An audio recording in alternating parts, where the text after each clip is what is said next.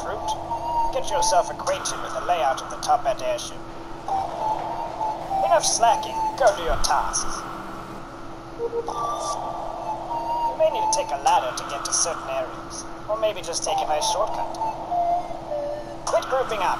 Choose a room to start in after a meeting. Someone keeps trying to sabotage us. Stop their plan. Keep your eyes peeled. We definitely have an imposter here.